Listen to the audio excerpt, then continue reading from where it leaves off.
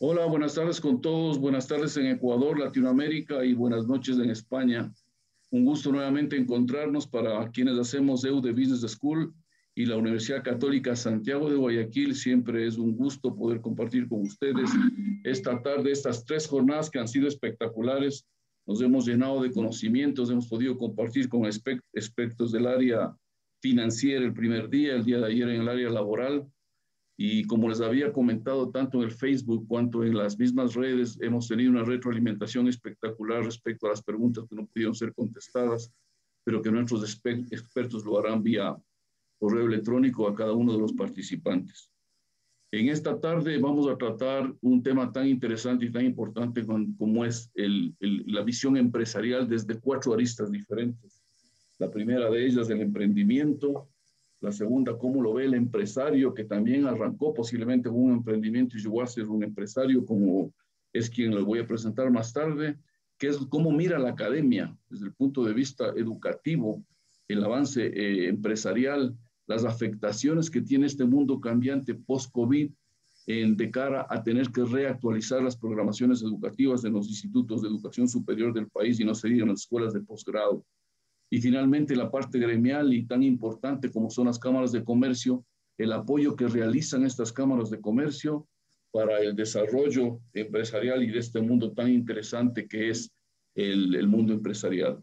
Por ello, en esta tarde doy la más cordial bienvenida a la doctora María del Carmen Lapo, es la directora de posgrados de la Universidad Católica Santiago de Guayaquil, al ingeniero Carlos Loaiza, que es el presidente de la Cámara de Comercio de Quito, que nos acompaña, al doctor Gonzalo León, presidente fundador de GLS Constructores, y al ingeniero Mateo Tobar, que también del siglo XXI va a estar con nosotros, eh, tanto ocupando su panel cuanto el de su compañera de Nadia, que está en el exterior y por un tema de, de las comunicaciones que no están muy claras desde fuera, pues ella ha preferido que sea Mateo quien esté con nosotros. Yo también debo agradecer públicamente el apoyo técnico, administrativo, y educacional, académico que hemos tenido por parte de, María Emilia Fierro, que está ahí con nosotros siempre. Muchas gracias a ti, Milita, que todos los que hemos eh, hecho de presentadores, de gestores y de ponentes, agradecemos mucho la coordinación que ha estado espectacular. Sin más, en este día, nuevamente el mundo empresarial se nos viene. Tenemos algunas preguntas que la organización las semanas y días anteriores ha hecho con los ponentes. Hemos escogido, como dije al principio, a las personas que pueden dar un valor agregado por el nivel de experiencia que tienen, por todo lo que han pasado. Y es espectacular que ustedes compartan con nosotros la visión que tienen respecto al mundo empresarial y las perspectivas y retos del año 2021 de cara a este hermoso país nuestro que ya tiene un camino por lo menos políticamente definido que arrancará el 24 de mayo próximo. En este sentido, las eh, todas las ideas, los conceptos que podamos aquí compartirlos, no solamente llegan al, a Ecuador, sino a Latinoamérica. Estamos nosotros proyectando a través de nuestros canales a 11 países y lo que no se proyecta por la hora, pues al otro lado del río, al otro lado del charco, se estará proyectando en Europa a partir del día de mañana y también lo estamos grabando. Buenas tardes nuevamente con todos y voy a permitirme presentar a nuestro primer panelista, que es Mateo Tobar, coordinador comercial de LAF 21 y profesor de innovación y emprendimiento, con experiencia en el sector privado, sociedad civil y academia en la coordinación e implementación de proyectos a nivel nacional e internacional en temas como democracia, participación ciudadana, emprendimiento e innovación. Graduado en Relaciones Internacionales y Ciencias Políticas por la Universidad de San Francisco de Quito, es Design Thinker certificado y becario del programa Community Capacity Building de la Simon Fraser University de Canadá y de la Fundación Konrad Adenauer Stiftung. Me suena bastante alemán esto, ¿no es cierto? Bienvenido, Mateo, contigo todos. Buenas tardes. Muchísimas gracias, eh, Francisco, y de igual manera, muchísimas gracias a la EUD eh, y también Emilia, que quien fue la que nos apoyó en, en todo este proceso. Gracias por la invitación.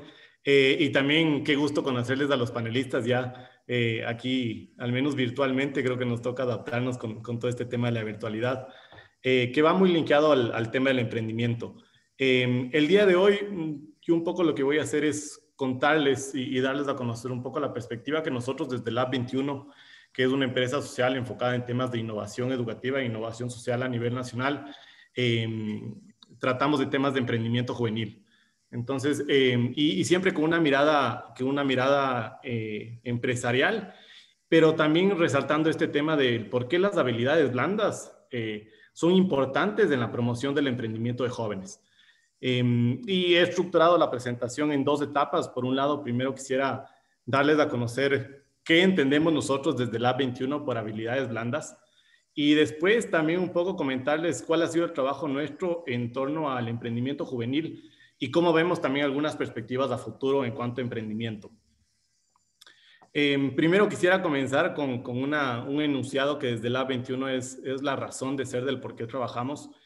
Y es que actualmente vivimos en un mundo en el que el talento está distribuido equitativamente, pero lastimosamente las oportunidades no están distribuidas equitativamente. Y esto es a nivel mundial eh, y, Ecuador no es la, no es la diferencia. Em, nosotros desde la 21, eh, como les comentaba, somos una empresa social y trabajamos a nivel nacional y en todos los procesos que hemos implementado nos hemos dado cuenta de que existe mucho talento a nivel local y es un talento que puede cambiar el mundo. Eh, y en especial los jóvenes tienen la capacidad de, generar este cambio a nivel mundial, pero lastimosamente no tenemos todos igual acceso a oportunidades y, y díganse estas oportunidades, oportunidades educativas, oportunidades de empleo o también oportunidades de justamente transformar una idea en un proyecto y posteriormente un emprendimiento sostenible. Después quisiera problematizar esto que les estoy comentando con algunos datos a nivel de los jóvenes.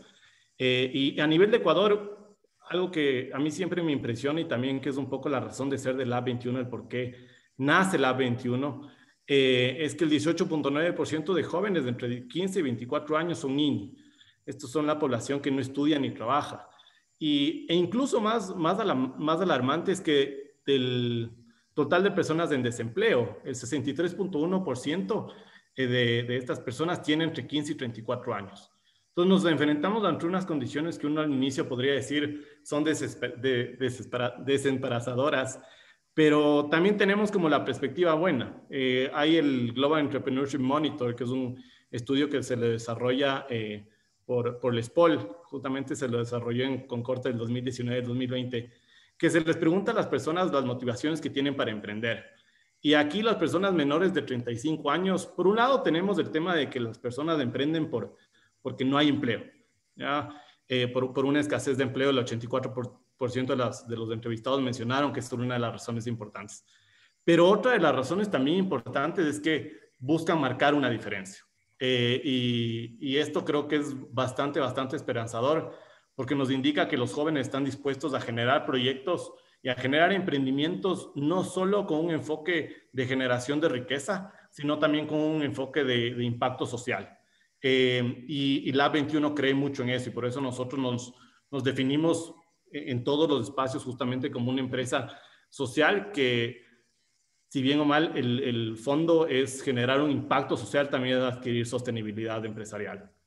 Y por último, del total de personas que emprendió en el 2019, en el año 2019-2020, el 51.3% tenían entre 18 y 34 años. Entonces, les comento todo este, este ambiente para resaltar este hecho de que los jóvenes tienen la capacidad de emprender. Existe una voluntad de emprender, eh, pero también existen bastantes retos y estos retos hay que solventarlos. Y además también vivimos en un mundo que es de constante cambio. Eh, creo que la pandemia del COVID-19 nos, nos, enfrentó a un escenario en que nos tocó cambiar las cosas de un día al, al otro, eh, procesos presenciales completamente y, y transformarlos virtuales. Eh, y esto nos hace preguntarnos si es que estamos preparando a nuestros jóvenes para los retos del presente y del futuro. y esto también incluye a los emprendedores, es decir, les estamos dando las capacidades a los emprendedores para que puedan enfrentarse a condiciones cambiantes y a un mercado laboral también que cambia todos los días. Em, y con esta problematización, ahí sí, un poco explicarles quiénes somos desde Lab 21. Lab 21 es un laboratorio de innovación social y de innovación educativa que nace justamente para solventar esta problemática. Somos, éramos un emprendimiento eh, fundado por jóvenes, eh, por, em, Ana Cristina Hidalgo, pero con el tiempo nos hemos convertido ya en una empresa consolidada, una empresa social que busca también apoyar a otros jóvenes para que se puedan transformar en líderes y en agentes de cambio. Nos consideramos unos actores que somos expertos en formar líderes capaces de identificar, aprovechar y generar oportunidades a través del desarrollo de las habilidades blandas o como nosotros las llamamos las habilidades del siglo XXI. Entonces, para nosotros el emprendimiento, cuando hablamos de emprendimiento, es verdad que necesitamos capacidades técnicas que son provistas por, por un ambiente educativo, también por la academia en las universidades, pero hay otras habilidades que son fundamentales para un emprendedor para impulsarlo y transformarlo en un actor, en un agente de cambio, que son justamente estas habilidades blandas. Eh, y el día de hoy, un poco lo que quiero contarles es justamente cómo desde Lab 21 impulsamos el desarrollo de estas habilidades blandas en emprendedores jóvenes eh, y cómo el trabajo nuestro a nivel de, forjar y desarrollar estas habilidades blandas nos ha permitido generar impacto para que las personas se den cuenta de que no necesariamente eh, es que se enfrentan a un futuro desesperanzador, sino que en verdad pueden ellos ser capaces de generar sus propias oportunidades o de identificar nuevas oportunidades, pero, pero dándoles habilidades blandas.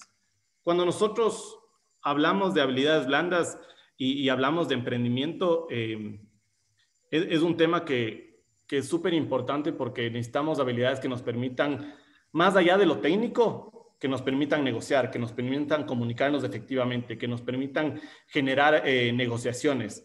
Em, y cuáles son las habilidades un poco que nosotros trabajamos desde la 21 con los jóvenes. Eh, primero es el tema del liderazgo, es darles las oportunidades a los emprendedores jóvenes de que trabajen el tema del liderazgo y no necesariamente de que sean líderes de equipos, sino que también tengan una capacidad de autoliderazgo. Es decir, cuál es su plan de vida, cuál a, nivel de un emprendedor, cuáles deben ser mis objetivos, mis metas y cómo debo yo establecer una hoja de ruta o un plan de trabajo para alcanzar esos objetivos. Eh, el tema de ser resiliente y el tema de empoderarnos como jóvenes para alcanzar justamente el cambio y, lograr estos emprendimientos sostenibles. El, ámbito de ser creativo.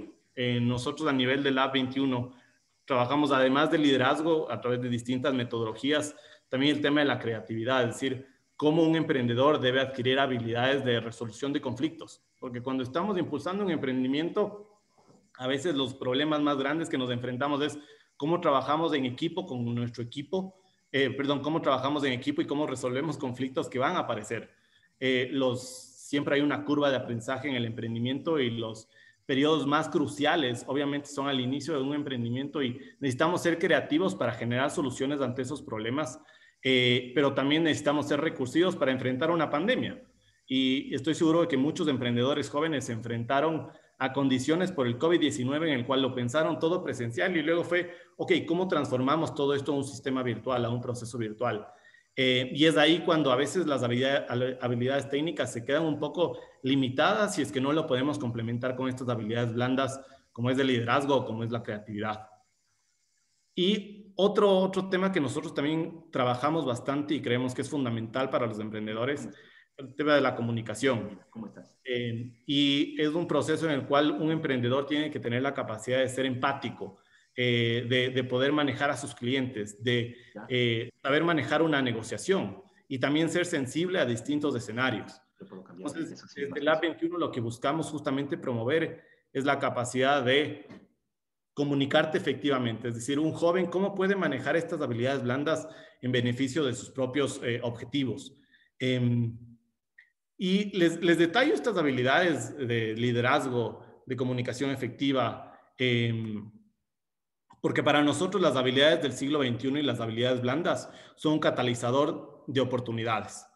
Entonces, eh, cuando nosotros trabajamos las habilidades blandas con jóvenes que no necesariamente han tenido estos espacios para desarrollar esas habilidades, estamos creando oportunidades en las cuales las personas se dan cuenta de que en efecto pueden desarrollar proyectos o pueden transformar una idea en, algo factible, en algo que, que genere impacto y en algo que se vaya desarrollando. Y por otro lado, la creación de oportunidades aporta al desarrollo de emprendimientos sostenibles. Entonces, cuando nosotros trabajamos desde la 21 las habilidades blandas, lo que buscamos no solamente es darles las capacidades de comunicación, de liderazgo, eh, de creatividad a las personas, sino también es darles la habilidad para crear oportunidades eh, de, negocios y oportunidades en las cuales ellas pueden utilizar justamente para, construir eh, emprendimientos sostenibles. Y luego se forma un ciclo virtuoso en el cual cuando creamos oportunidades y se generan emprendimientos sostenibles, evidentemente estos emprendimientos van a generar más oportunidades de, empleo para otras personas. Y un poco les comento todo este, este, esta, esta parte, porque nosotros desde Lab 21 contamos con una metodología que busca aportar al desarrollo de habilidades blandas eh, y como nosotros las llamadas habilidades del siglo XXI para desarrollar el emprendimiento en jóvenes y para que también los jóvenes se den cuenta de que pueden alcanzar mucho más de lo que ellos creen. Y cómo estas habilidades han sido clave para la 21. Y aquí les hablamos desde la propia experiencia. No solo aportamos a otros jóvenes y a otros actores para que desarrollen habilidades blandas, sino que también nosotros las implementamos en el día a día de la 21. Eh, con la pandemia nosotros no fuimos la excepción que nos tocó cambiar todos nuestros procesos presenciales y transformarlos en un, formato virtual. Eh, y eso nos permitió a nosotros alcanzar a muchas más personas y ahorita estamos trabajando a nivel nacional con varios programas en distintos colegios a nivel nacional y también con distintas comunidades a, a nivel nacional que nos han permitido cambiar la vida de las personas.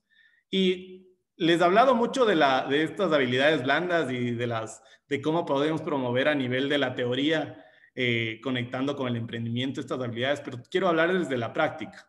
Nosotros mantenemos un proceso que se llama Comunidad 21, en el cual trabajamos con eh, poblaciones y comunidades en situación de vulnerabilidad, que lastimosamente no es la excepción en el Ecuador. En el Ecuador, como les mencionaba, tenemos un alto nivel de desempleo juvenil y nos enfrentamos a unas condiciones en las cuales los que más necesitan desarrollar estas habilidades blandas para adquirir nuevas oportunidades son los jóvenes. Comunidad 21 es un programa nuestro con alcance a nivel nacional en el cual lo primero que nosotros hacemos, antes de siquiera pensar en qué es el emprendimiento, en desarrollar emprendimientos, lo primero que buscamos es crear espacios seguros que inviten a la creatividad de las personas porque nosotros entendemos que a través de la creación de estos espacios estamos también invitando para que los jóvenes se den cuenta de que está bien eh, salir de su zona de confort y, que está bien tener ideas locas y que está bien transformar esas ideas locas en, realidad.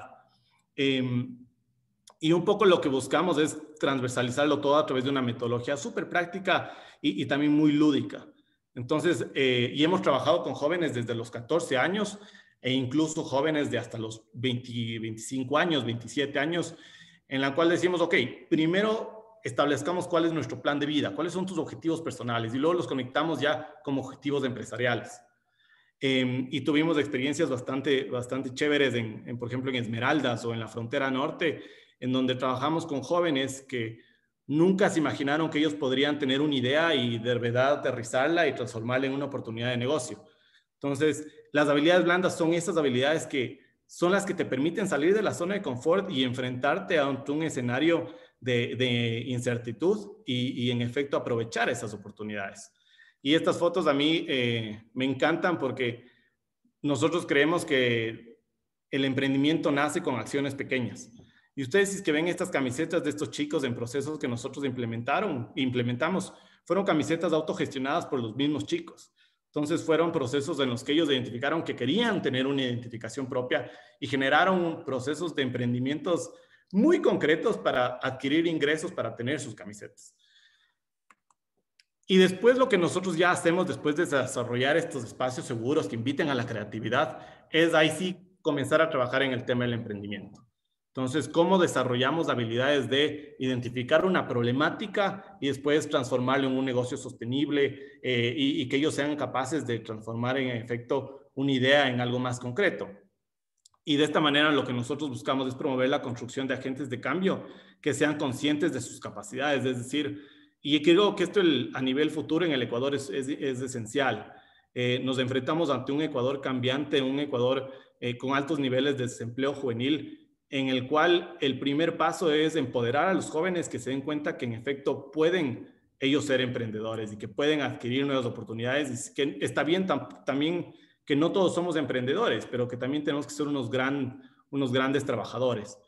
En nuestros procesos de, Comunidad 21, nosotros hacemos un levantamiento de información de autopercepción en el cual preguntamos a las personas eh, si es que se sienten con las condiciones para em, empezar un emprendimiento y desarrollar un emprendimiento y ahí tenemos una escala del 1 al 100 y al inicio del proceso teníamos un promedio de 59 sobre 100 eh, en temas de emprendimiento que las personas se sentían capaces de implementar un emprendimiento. pero después de desarrollar las habilidades blandas y en efecto promover el tema de la comunicación efectiva, temas de liderazgo, temas de resolución de, de, problemas y de conflictos, al cierre del proceso estos indicadores subieron y, y, son autopercepción, es decir, es un tema de que las personas se dan cuenta que, tienen las capacidades para promover un proceso de emprendimiento. Y, esto es súper importante porque dentro de un emprendimiento siempre hay esta curva de, emoción y luego caemos después del primer problema y es importante que el emprendedor se sienta empoderado para desarrollar proyectos sostenibles. Pero también lo trabajamos en temas de empleabilidad y les preguntamos si es que están se siente con la capacidad de enfrentar una entrevista de trabajo, por ejemplo. Y esto es algo que no nos enseñan en la universidad y tampoco nos enseñan en el colegio. Eh, y al inicio del proceso, el 5, o sea, las personas se calificaban y, había un promedio de 5 que se sentían en la capacidad de, enfrentarse ante una entrevista de trabajo, pero luego del proceso nos damos cuenta que, estos indicadores suben y es porque les empoderamos, pero también porque tienen la capacidad de, hablar y, nosotros en nuestros procesos conectamos con empresas y hacemos eh, voluntariados empresariales y le ponemos al joven ante una persona de, talento humano de una empresa para que tenga su primera práctica de una entrevista de trabajo. Entonces, eh, es dar las oportunidades a estos jóvenes y abrir los espacios y, que no sea un tabú este tema de que los jóvenes no tienen acceso a estas oportunidades porque eh, tal vez en la ciudad una persona puede acceder a, distintos procesos y a un ecosistema de emprendimiento consolidado. Pero tal vez en frontera norte, por ejemplo, les pongo un ejemplo de Chical y Maldonado, donde implementamos un programa, esa no era la realidad. Y algo que también quería compartir con ustedes, este es nuestro equipo, eh, en esta foto está nuestro equipo de Chical que trabajó justamente con nosotros y lo que nosotros buscamos hacer con esas personas es potencializarlos y que se den cuenta de que tienen la capacidad de generar eh, proyectos personales. Entonces fue súper interesante. Después de nuestro proceso de Comunidad 21, eh, hubieron nuestros, nuestros facilitadores a quienes nosotros entrenamos desde cero. se acabó el programa y lo primero que dijeron es quiero irme a estudiar inglés, quiero irme a la universidad, quiero adquirir nuevas oportunidades. Entonces, es un tema de que el emprendimiento aquí en el Ecuador lo que, lo que se necesita comenzar a trabajar es el generar estos espacios de desarrollo de habilidades blandas y de creación de oportunidades. Y tienes tres, minutos, Mateo. Muchas gracias, Juan Francisco.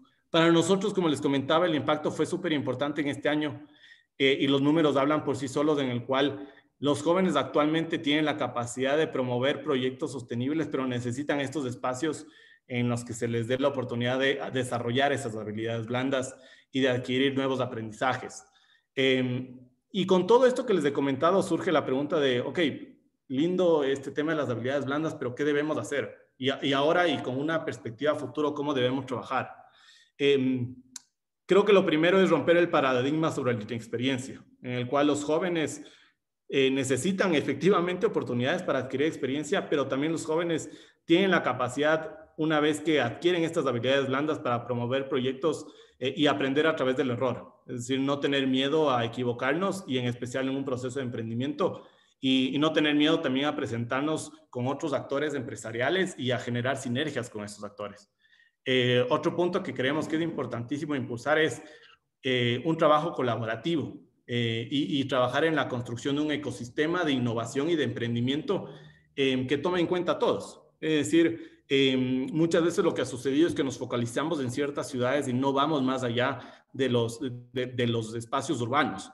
Entonces, creo que un reto para el Ecuador en cuanto al emprendimiento y el tema de innovación es cómo rompemos estos procesos de, focalización del emprendimiento eh, y alcanzar a distintos jóvenes y, generar este proceso en que distintos jóvenes de, de comunidades rurales de, frontera norte, por ejemplo, puedan acceder a estos espacios de emprendimiento y generar estas habilidades blandas que les permitan crear oportunidades para otros también y por qué no para ellos. Y otro es eh, apostarles a los jóvenes desde el inicio. Como nosotros les comentábamos, hemos trabajado con jóvenes desde los 14 años en el desarrollo de estas habilidades blandas y creo que es importante que desde una perspectiva multiactor, desde la academia, desde el sector privado, eh, y desde cooperación internacional también se, se, trabaje con los jóvenes desde un inicio y aportemos al desarrollo de habilidades eh, de emprendimiento que en efecto van a impactar en un crecimiento económico. Em, y eso es un poco a nivel de, de quiénes somos nosotros, lo que hemos hecho en, en temas de emprendimiento. Eh, y, otra vez, cierro con este tema de que es importantísimo el desarrollo de las habilidades blandas eh, como un primer paso para promover el crecimiento y desarrollo sostenibles y con esto aportar el crecimiento económico en el Ecuador, que como les decía, hay un montón de potencial a nivel nacional, pero hay que explotar ese potencial y que las oportunidades no, no sean una cosa eh, inequitativa, sino que más bien estén abiertas hacia todos. Y no, eh, más bien eso, muchísimas gracias a todos y eh, gracias por la invitación también, Juan Francisco, y, a la EUD. Mateo, seguro que sí, Mateo, muchas gracias. Espectacular la presentación de Mateo respecto a habilidades blandas.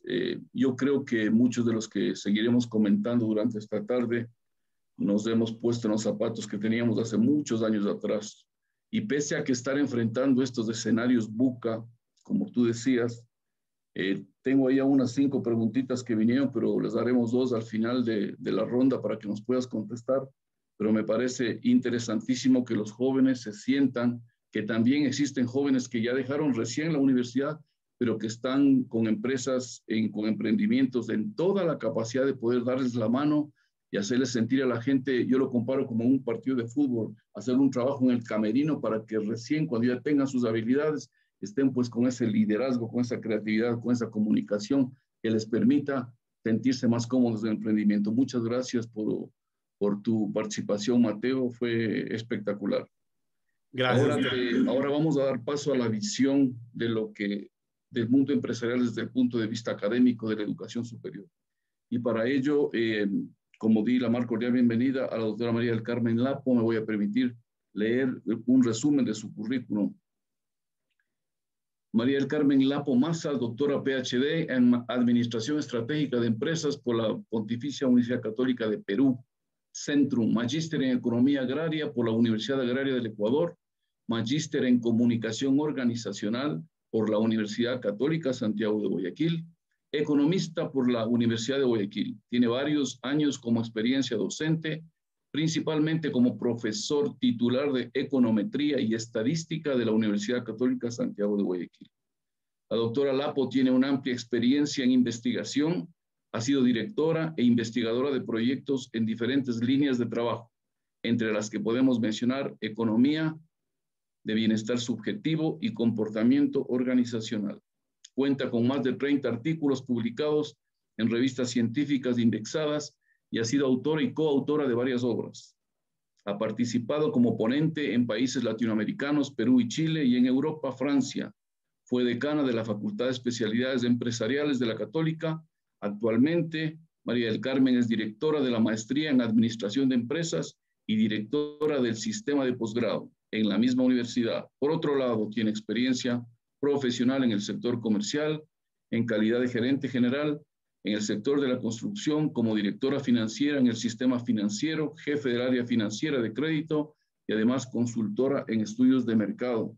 Además de esto, todo el aval de quienes conocemos la trayectoria de María del Carmen nos hace a nosotros sentirnos eh, completamente cómodos con la alianza estratégica que EUDE Business School tiene con la Universidad Católica de Santiago de Guayaquil pues María del Carmen, quien les habla, empezamos esta alianza hace unos tres años y ahora cada vez se va fortificando. Con usted, la audiencia, María del Carmen, bienvenida. Buenas tardes.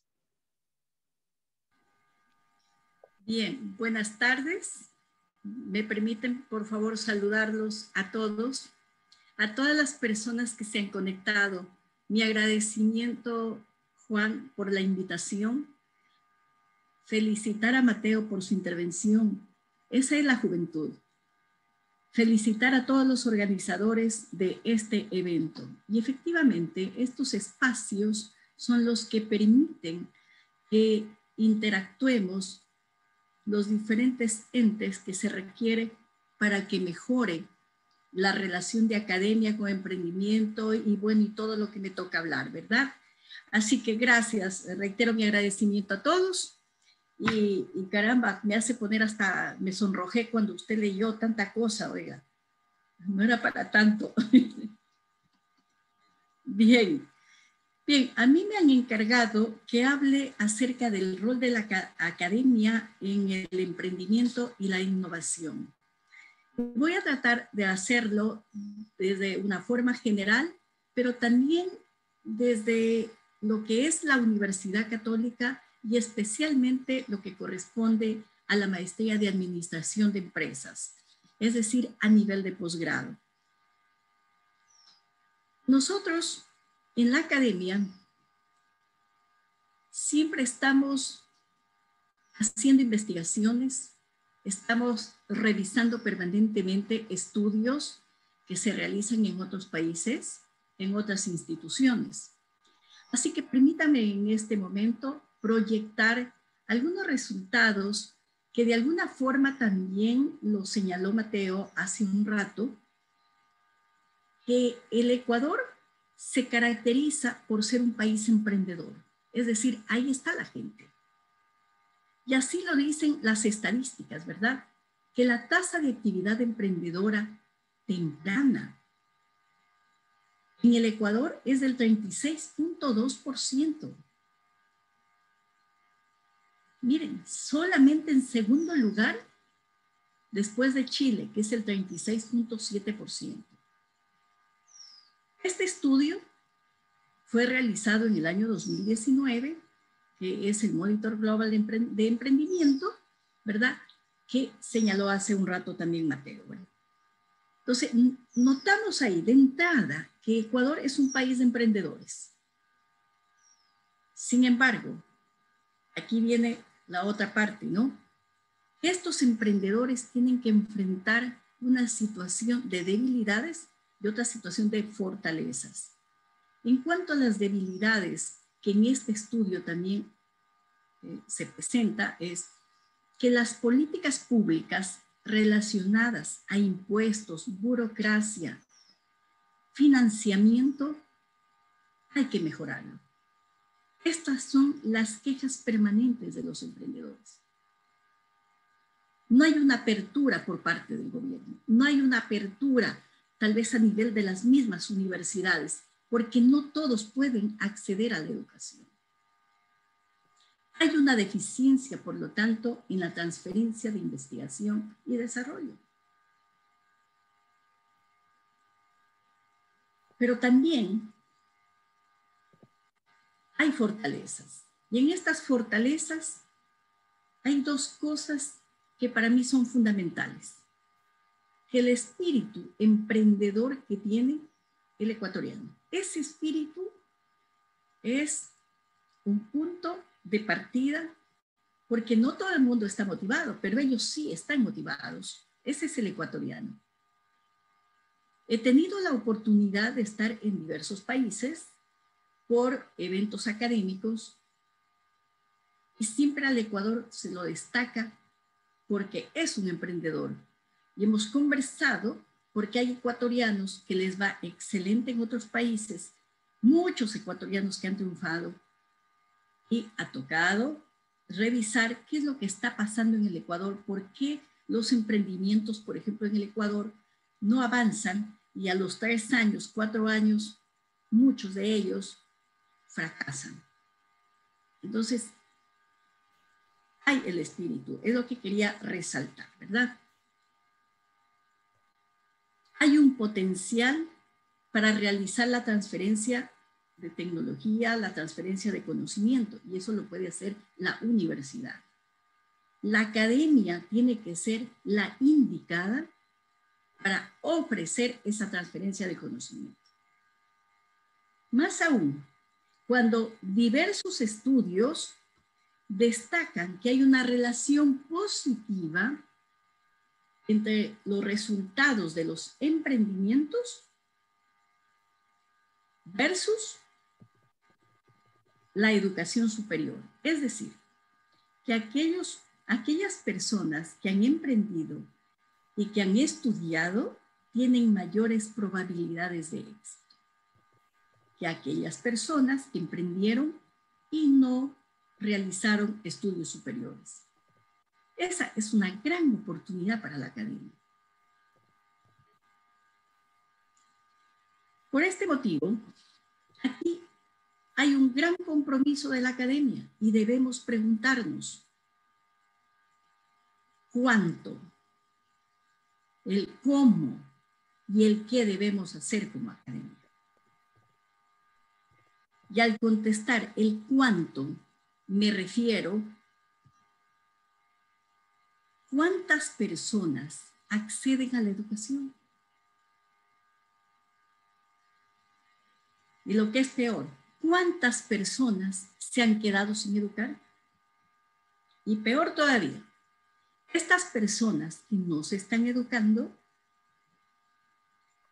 a lo mejor los perdimos como emprendedores, porque muchos de ellos tenían el potencial para ser emprendedores y para ser exitosos emprendedores.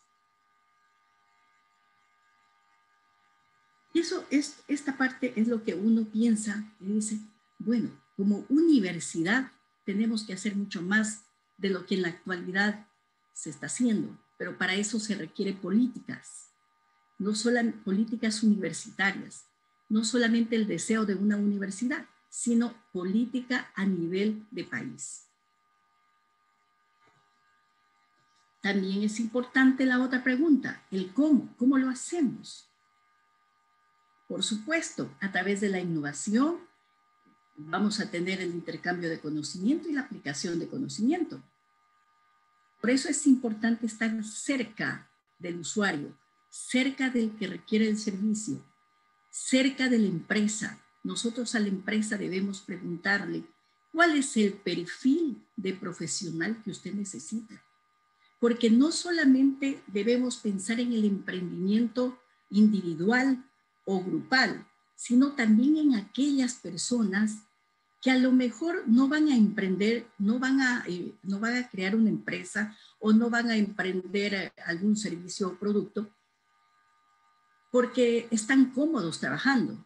Sin embargo, al darles una buena educación en la academia, estas personas podrían hacer intraemprendimientos en estas, en estas empresas. Es decir, hablar con el gerente y decir, tengo una idea, tengo un proyecto nuevo. Entonces, esa formación debemos darle en la universidad. Es la forma de poder transmitir el conocimiento, de poder hacer un intercambio de conocimiento.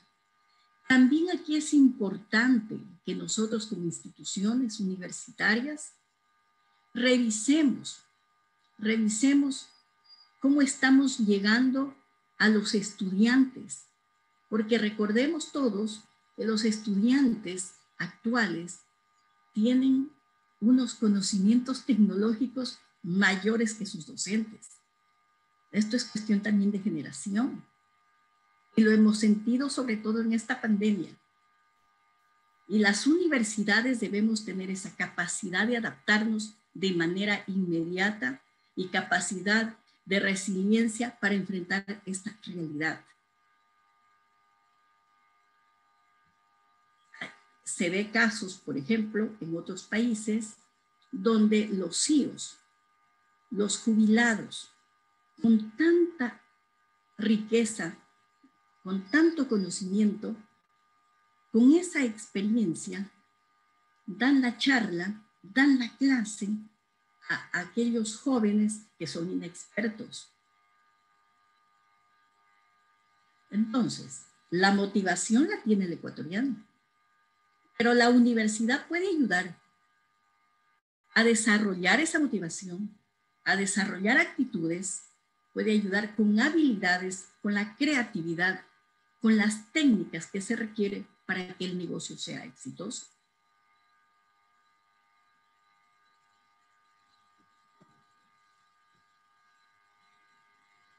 ¿El qué debe hacer la universidad o el qué debe hacer la academia? Pues bien, aquí, de acuerdo a lo que acabo de mencionar, el propósito de la educación universitaria en emprendimiento es doble.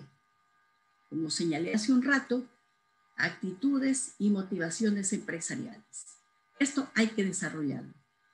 Las habilidades y técnicas, porque lo requiere para el éxito de su empresa. Necesitamos formar líderes, emprendedores, líderes en el campo donde ellos se desarrollen. Pues tenemos que apoyarlos. Nos toca apoyarlos. Los emprendedores se convierten en un activo valioso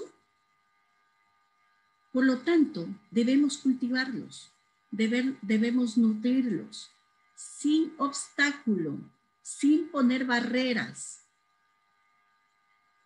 No como se está, como, como es el contexto actual en el que se desenvuelven los emprendedores.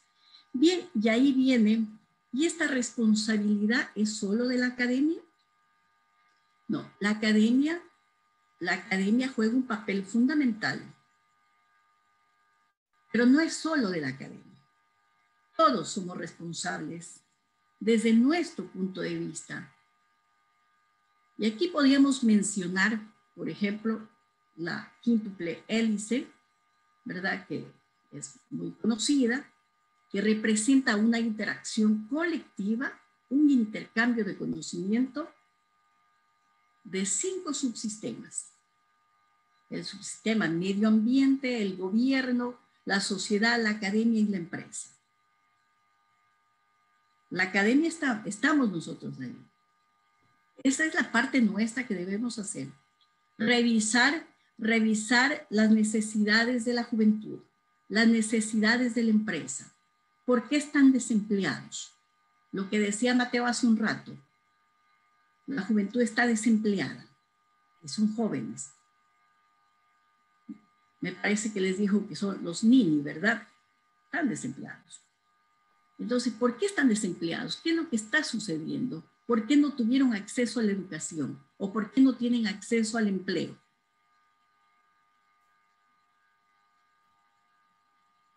Pero tenemos que intervenir algunos sistemas. Y aquí permítanme, aquí permítanme comentarles algo de, de la maestría en administración de empresas. En la maestría de administración de empresas nosotros tenemos, además de una materia, una materia que integra lo que aprendieron en la, en la maestría y realizan trabajos prácticos para apoyar a grupos de emprendedores que se hace un diagnóstico para ver cuál es la situación de ellos, en qué etapa se encuentran y se los apoya desde la maestría.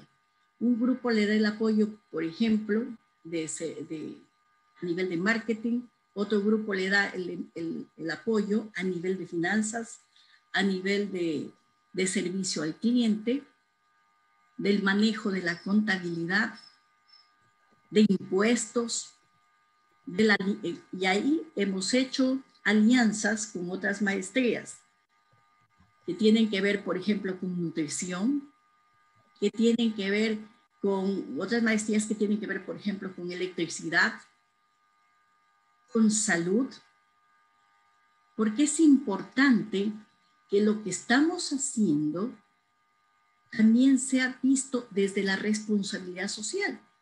O sea, no solamente podemos pensar en, eh, en hacer este, rentable, por ejemplo, un negocio, pero también la persona que está con su negocio o con su emprendimiento tiene que ofrecer un producto, un servicio, ¿verdad? Que no le afecte a la salud de las demás personas. Y hemos recuperado sectores, hemos convertido sectores que anteriormente no eran tan agradables en sectores que se han convertido hasta en pequeños rincones turísticos. Eso lo ha hecho la maestría de administración de empresas. Además, los, los profesores de las otras materias también trabajan pensando en, en, lo que tienen que hacer los jóvenes al final como trabajo de investigación. Y, lo más hermoso es saber que algunos, algunos alumnos que no son de 30 años, que son de 40 años, 50 años de edad, que han sido empleados toda su vida, deciden emprender. Y qué maravilla. Al decidir em, emprender, ellos están generando empleo, han renunciado a sus trabajos, o sea, hemos visto muchos casos a nivel de, este programa de maestría que les comento y otros programas de maestría de la universidad, pero son aquellos que están más relacionados con el tema de emprendimiento y por eso me permito señalar, ¿verdad? Entonces, esa es la mayor satisfacción que puedo comentarles a nivel de la universidad. Pero la, pero la academia no puede ir tampoco sola. Se necesita políticas públicas claras. Se necesita que la empresa también esté dispuesta a invertir. Por ejemplo, en un estudio que se realizó en Chile, aproximadamente el 10%, 10.8%, 10.8% de los entrevistados, ¿verdad? me refiero a las empresas, están dispuestos a colaborar para lo que es la innovación, para lo que es el emprendimiento, a pesar, a pesar de los resultados que al inicio señalé. Entonces, ¿qué significa eso? Que también debería existir un mayor acercamiento entre universidad, entre el Estado, la, la, la empresa, es decir, el sector privado, por ejemplo, como para saber, para que todos sigamos la misma ruta. Esa hoja de ruta que uno se traza tiene que estar dada después de haber una de tener una reunión, ¿verdad? Y saber, bueno, hacia dónde nos queremos encaminar, hacia dónde nos vamos a ir. Doctora, tenemos tres minutos. Gracias, Juan, disculpe. Entonces, por eso me permití presentar, cerrar esta, esta, esta conferencia, que me corresponde, con la responsabilidad. La responsabilidad es de todos. Y nosotros con EUDE, y me permite eh, decirle esto, con EUDE hemos firmado un convenio precisamente para ofrecer programas de posgrado que tienen esta misión, formar emprendedores que después generen empleo y que sean emprendedores con responsabilidad social. Así que muchas gracias. Gracias a usted, María del Carmen. Eh, no podía ser de otra forma espectacular su intervención eh, en todos sus puntos durante estos 20 minutos. Me permito destacar el inicio cuando hablamos de que el Ecuador es un país emprendedor.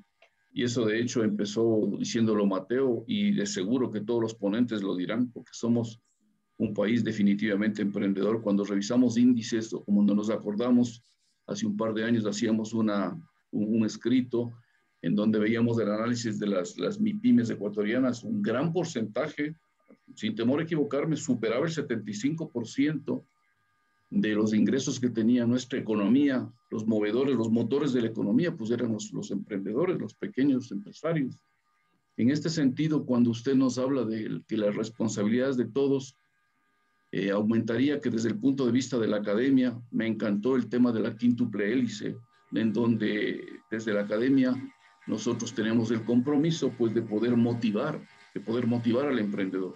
Y aquí yo lo que les pondría, les pondría un gusanito en la cabeza, yo, doctora Lapo, es que cuando hablamos de los juniors o de los emprendedores que empiezan, yo creo que posterior al COVID tenemos que pensar en la academia de que van a haber muchos juniors, pero que sobrepasan los 50 años, porque vino una incertidumbre tan grande que hay gente que se vino a cero, que si es que yo estuve en el área de la panadería, mañana voy en el área del marketing, y si es que mi empresa de marketing tuvo que cerrar, posible mañana esté yo en la construcción dirigiendo grandes proyectos. O sea, vamos a tener juniors de muchísimas edades y va a haber gran trabajo para Mateo Tobar también, no solamente con jóvenes, sino que con, con, gente de la edad de muchos que estamos hablando que tenemos del corazón y el espíritu joven. Entonces, en este sentido, agradezco que nosotros hagamos un cruce de estas responsabilidades y algunas preguntas que tengo al respecto para que actualicemos nuestros programas y no solamente nos recordemos, nos acordemos de que en la academia hacíamos el, el masterado de dos años, que nos mandábamos de jueves a, a domingo ahí, sino que pueden haber estos pequeños talleres, estos pequeños conversatorios, estos espacios en donde ese emprendedor quiere que le den dos o tres luces para empezar a tener esas habilidades blandas, donde recuerdo lo que dijo Mateo, y antes de que se me quede esto en el tintero, pienso, dejo ese gusanito también, Mateo, que las habilidades blandas siempre estuvieron ahí, pero ahora les hemos puesto un nombre o un cliché. Gracias, María del Carmen. No, gracias a usted. En este momento eh, ya hemos llegado a la mitad de la, del, del evento y damos paso a la visión que puede tener y que tiene ahí un empresario. Una persona que empezó con algo y ahora nos va a compartir las razones, el camino, las herramientas y los escenarios que les llevaron a estar en donde está. Me permito presentar al doctor Gonzalo León Serrano. Es un doctor en jurisprudencia de la Universidad Central del Ecuador, licenciado en educación física y deportes en el ejército de Brasil. Capitán de infantería del ejército fue y es el fundador, presidente de GLS Constructores Sociedad Anónima con 25 años de trayectoria en el mercado de la construcción, creador de la empresa de alta tecnología GLS Tech. Chalo, como lo decimos los amigos, ha sido exponente en varios eventos académicos y universitarios, es autor del libro De Guerrero a Luchador, creador de la empresa de alta tecnología y sobre todo una persona, un ser humano espectacular, un gran amigo de quien lo habla, y creo yo que la visión que, nos, que tiene Chalo y los ejemplos que nos va a poner van a permitir que veamos desde el punto de vista de alguien que empezó hace tiempo, cómo ahora, en donde en quienes conocemos esta hermosa ciudad de Quito, vemos algunos edificios ya y algunos proyectos interesantes, pues son de GLS Constructores.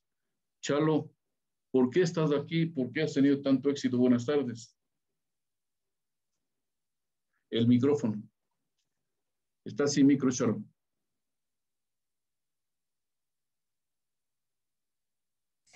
¿Ahí me escuchan? Ahí estamos bien. Eh, buenas tardes, Juan Francisco, eh, Mateo, María del Carmen, Carlos. para mí es un inmenso honor estar con ustedes compartiendo esta tarde y noche. Eh, gracias por la, por la presentación, Juan Francisco. Lo que yo quisiera transmitirles eh, el día de hoy eh, son experiencias de vida. Eh, hemos tenido la, brillante participación de Mateo desde el lado del emprendimiento, de María del Carmen desde el lado de la academia, y pues ahora yo quisiera compartirles mis experiencias cuando arranqué con un, como un sencillo emprendedor, el, camino recorrido lo que yo quisiera enfatizar en, este conversatorio es que no debemos tener miedo a fracasar. Eh, muchas veces eh, no tomamos decisiones o no queremos arriesgarnos a cambiar nuestro rumbo de vida por el miedo al fracaso. El fracaso lo vamos a tener indudablemente. En mi caso particular, eh, Luego de muchos años de formación militar, yo entré de muy joven, casi niño, a los 11 años al colegio militar. Y durante 20 años que pasé en la vida militar, tomé la difícil decisión de salir. Y salir con una mano adelante y con la otra mano atrás, como vulgarmente se dice, pero con un gran espíritu, con una sólida y férrea formación que adquirí durante todos esos años de vida que pienso que fue la decisión más sabia de mi padre, meterme al colegio militar a los 11 años, eh, que marcaron mucho en mi vida y obviamente todos estos principios que aprendí los he podido aplicar a lo largo de mi vida empresarial. Eh, mi primer fracaso, obviamente, todo se empieza haciendo malas cosas, fracasando, teniendo adversidades. Fue un emprendimiento eh, de una planta de producción avícola que habíamos empezado eh, con mucha fuerza, con mucho espíritu. Eh, empezamos produciendo eh, inicialmente mil aves de engorde, hasta que llegamos a producir cien mil aves en un periodo de en un periodo muy corto de menos de un año. Cada, cada cuatro o cinco semanas se procesaban cien mil aves de engorde. Y de repente la naturaleza nos jugó una mala pasada y se produjo un aluvión y bajó como un río inmenso, donde condujo árboles, maleza, piedras y derrumbó totalmente todos los galpones, eh, sepultó a 50 mil aves, se llevó todo el alimento balanceado, prácticamente nos quedamos en nada. Y lo único que, rescatamos de, esa, de esa adversidad fue un gran tronco, un gran tronco de seis metros de altura en eucalipto que lo sembré en mi primera construcción para recordar que la vida está hecha de adversidades. Y obviamente ahí, en ese emprendimiento, descubrí mi gran vocación de, de la construcción, porque en este emprendimiento aprendí a hacer las veces de carpintero, de albañil, los, los recursos eran muy escasos, de plomero, y obviamente me nació esa, esa, esa descubrí esa gran vocación del lado de la construcción, y empezamos mi primer emprendimiento eh, junto con mi esposa. Llevamos ya 25 años en, en, el mundo de la construcción y como les dije, el mundo está y la, y la empresa está hecha de adversidades. Y quien tiene la capacidad y quien tiene la persistencia para sobrellevar estas adversidades es quien al final del día va, va a triunfar.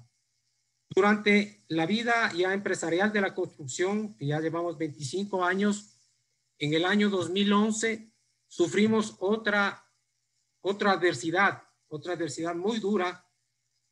Eh, se produjo un gran eh, orificio en un proyecto que estábamos desarrollando en la avenida Eloy Alfaro y Francisco Andrade Marín, junto a lo que era el Ministerio de, Turismo y Fiscalía.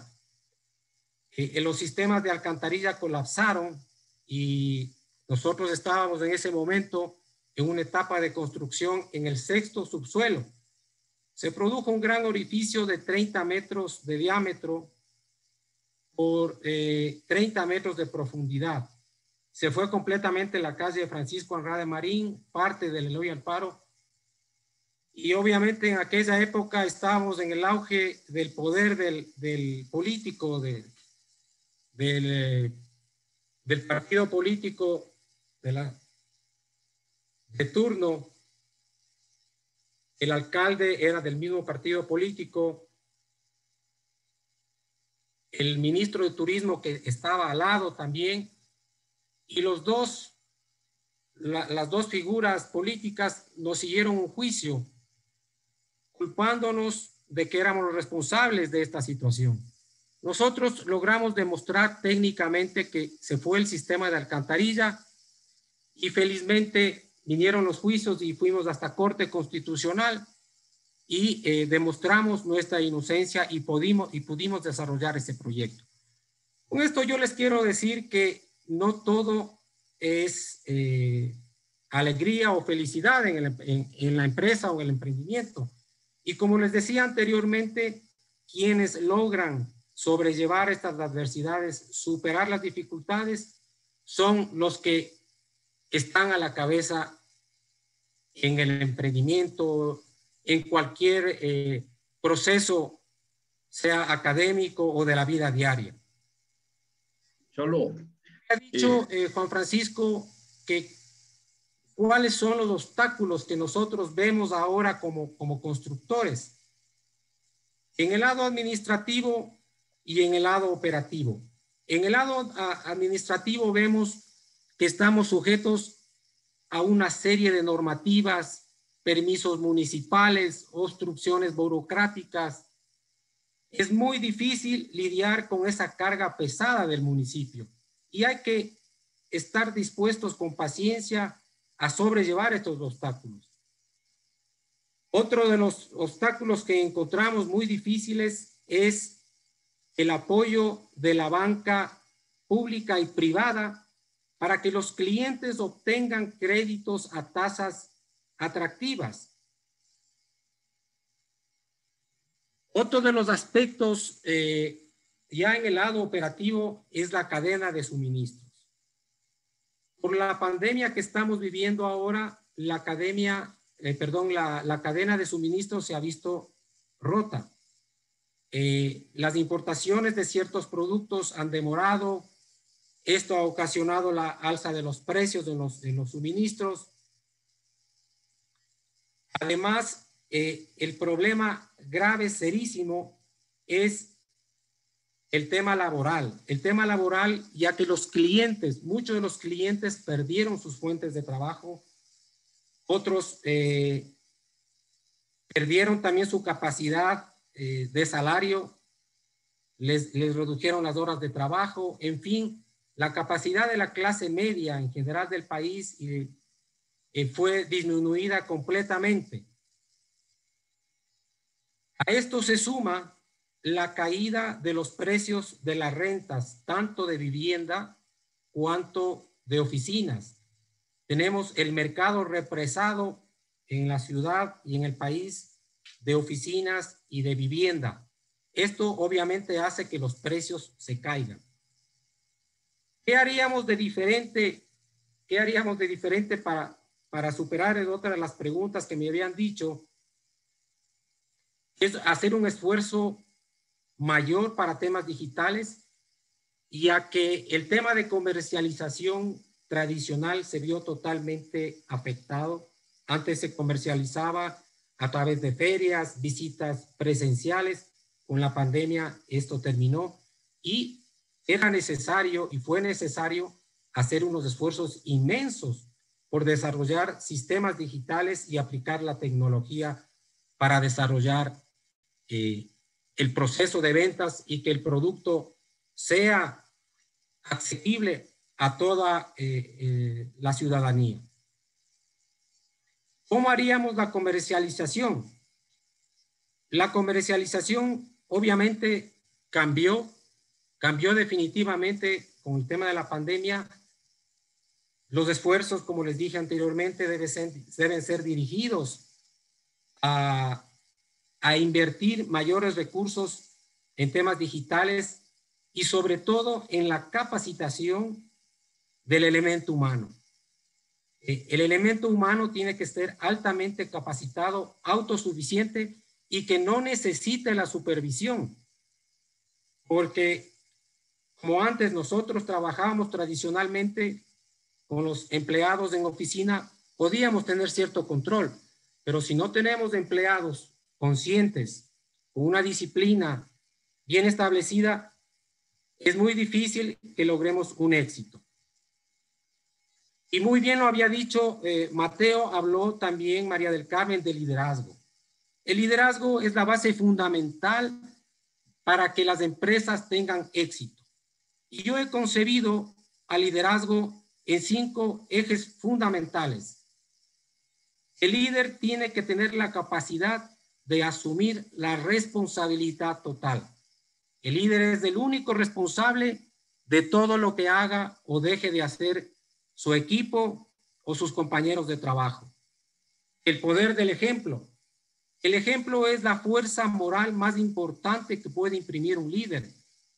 El líder es aquel que saca de su zona de confort a su equipo. Yo concibo que no existen gentes mediocres sino es el líder, aquel individuo que tiene la capacidad de sacar de la zona de confort a las personas y motivar, inspirar a que el trabajador cumpla las metas establecidas. Estar dispuesto al fracaso. Si un empresario, un emprendedor piensa que va a tener éxito en su proyecto, está equivocado. Va a fracasar una y mil veces, pero aquel que persevera es que al, el que al final del día va a tener el éxito definitivo. La autodisciplina. La autodisciplina es otra de las fuerzas morales fundamentales de un líder.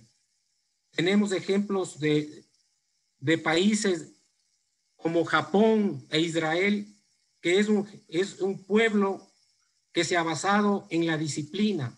Ellos piensan que no hay gentes más inteligentes sino, que hay gentes más disciplinadas.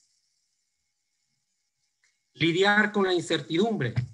Más aún en nuestros países latinoamericanos que estamos expuestos a una serie de vaivenes y cambios en políticas, en situaciones sociales. Tenemos que estar dispuestos a lidiar con esa incertidumbre porque jamás tenemos que planificar con un escenario definitivo. Siempre tenemos que planificar con un escenario de varias posibilidades y líneas de incertidumbre.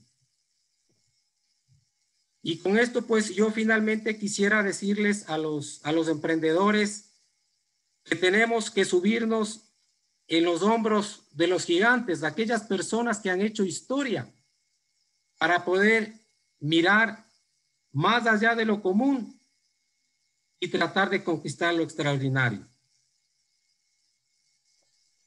Gracias, Chalo. Eh, tenemos todavía algún tiempito para charlar contigo. Destaco las respuestas que nos habías dado a la organización respecto a cómo, a cuál, en qué, si es que estaríamos 10 años atrás, qué harías diferente y lo, lo has contestado perfecto. Y me quedan, destaco cinco puntos aquí que son transversales para todos. Cuando, cuando en tu vida empezaste a ser un emprendedor, hay un momento que tienes que recordar que dijiste, oye, ya soy empresario, ya soy un empresario. Entonces te dejo igual el gusanito para que contestes al último, luego de la intervención de Carlos, es qué parte de la academia, qué parte de la, del gremio empresarial y qué parte del Estado tú viste que fue la que más te apoyó cuando ya diste ese paso de ser un emprendedor a un empresario. Y ahora, el momento que hablamos de una transformación, de ese reinventarse de nuevo como empresario, frente a lo que nos vino inclusive antes del COVID, cuando ya la economía estaba debilitada, viene la tecnología y a veces el constructor o el empresario dice, ok, voy a, eh, por así decirlo, voy a buscar eh, materiales, commodities menos caros, más baratos, mejores, o posiblemente sigo con los mismos, pero cambio de nicho de mercado. Voy a dejar de construir departamentos de 250 metros y me voy a los departamentos de 60 metros. Eso va a ser muy importante que tú nos compartas ahora mismo, si puedes, por favor, respecto a la gente que dice, quiero emprender en este negocio, pero en lugar de, de vender por tecnología y apostar por tecnología y, tasas más atractivas, voy a cambiar de nicho de mercado. ¿Qué dices de eso, Chalo? Sí, es, una observación eh, muy importante. Eh, el poder adquisitivo cada vez es, más reducido de, la gente en general. Eh, pensar vender departamentos o, casas sobre los 50 mil dólares es muy difícil. Entonces existe la posibilidad y la necesidad de reinventarse y reorientar el nicho de mercado como nosotros lo hicimos. Eh, felizmente nosotros hace cuatro años ya pensamos en que nos adelantamos a la situación, cambiamos de nicho de mercado porque nuestra empresa se enfocaba a un target medio y alto y pues eh, tuvimos eh, la iluminación divina y la planificación para ya cambiar desde hace cuatro años, planificar esta situación y cambiamos también nuestro sistema de constructivo. ya lo industrializamos para que eh, obviamente sea una economía de mercado. A mayor productividad, eh, tener un mayor rendimiento eh, en cuanto a la capacidad de producción. Nosotros llegamos a, construir siete departamentos por semana.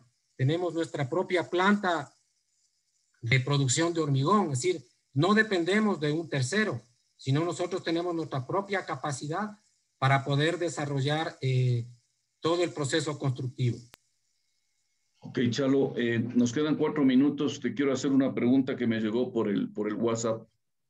Hablas tú de capacitación como un pilar importante en el manejo de tu empresa, ahora que es una constructora que tiene varios, varios proyectos en la ciudad y en el país. En este sentido, cuando hablan de capacitación, ¿han pensado o cómo lo hacen? ¿Capacitan in company con ustedes mismos o buscan proveedores de otro lado para poder capacitar? ¿No han pensado en tener su propia escuela de capacitación? Sí, eh, nosotros capacitamos al interior de nuestra empresa y también tenemos nuestra línea eh, tecnológica que es GLS Tech. es una línea de alta tecnología en electrónica, en comunicaciones, en eh, mecatrónica, en robótica.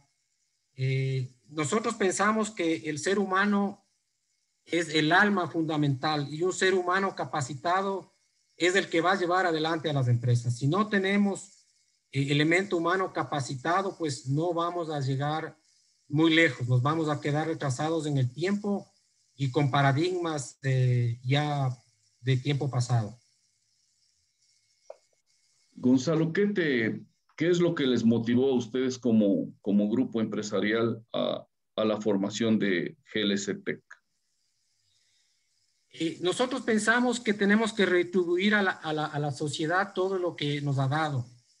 Eh, esta línea nosotros la concebimos eh, más, no como una línea casi de negocio, sino más como un aporte al desarrollo y como un, un ente que podemos despertar a, la sociedad, a que la gente sea capaz de desarrollarse, que la gente crea en sí mismo, que la gente tiene capacidades para desarrollarse, sino que quizás no ha tenido la oportunidad de conocer herramientas necesarias para lograr el éxito. Gonzalo, ha habido unas seis personas que ingresaron ya cuando tú estabas eh, disertando y se, se perdieron en la intervención de María del Carmen y Mateo. Quisiera que cierres, por favor, dándoles un mensaje a quienes como emprendedores alguna vez se cayeron. ¿Qué les dirías a ellos? Eh, yo les diría a, todas las personas que nos escuchan, que nos escuchan y que nos están mirando, eh, que no tengan miedo, eh, que no tengan vergüenza en fracasar, eh, porque muchas veces por temor a fracasar no damos ese paso. Y si se caen y si fracasan, vuelvan a intentar.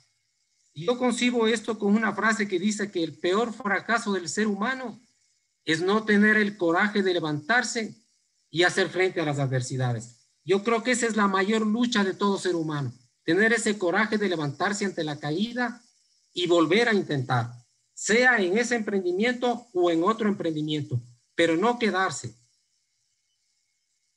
Gracias, Gonzalo. Fue la intervención del doctor Gonzalo León, fundador, presidente de GLS Constructores, que desde el punto de vista de empresario en esta tarde ha compartido su experiencia que empezó con un emprendimiento y termina en lo que es ahora GLS y también GLST. Muchas gracias, Gonzalo. Tenemos algunas preguntas para ti, de las cuales la organización y María Emilia estará escogiendo las, las principales, las importantes. Y para las otras personas que nos están preguntando a través del QA también y en los correos electrónicos, igual que lo hicimos ayer y anteayer, si es que no alcanzamos por el tiempo, nosotros daremos, eh, contestaremos las respuestas, por supuesto, de parte de los expertos a través del correo electrónico. En esta tarde, retos y perspectivas 2021, ha visto el escenario empresarial visto desde el punto de vista académico, del emprendimiento, del empresario. Y ahora, para el cierre importante de estos tres días, tenemos la presencia de Carlos Loaiza, el presidente de la Cámara de Comercio de Quito, quien desde el punto de vista del gremio de la, de la Cámara de Comercio de Quito nos va a aportar con su participación eh, muy importante para el cierre de este evento y, del, y de retos y perspectivas 2021. Me voy a permitir, eh, Carlos, leer el currículum de usted. Y Carlos es un ingeniero químico de la Escuela Politécnica Nacional, es un MBA de la Universidad de Quebec en Montreal, fue socio de PwC Asesores Empresariales, ha participado como consultor en estrategia y eficiencia organizacional en las más importantes empresas del país ha desarrollado proyectos en Colombia, Brasil, Argentina y Chile. Miembro de directorios de gremios importantes del Ecuador, presidente de la Comisión de Integridad y Anticorrupción de la Cámara de Comercio Internacional, capítulo Ecuador, y presidente del Instituto Ecuatoriano de Gobernanza Corporativa, presidente electo de la Cámara de Comercio de Quito.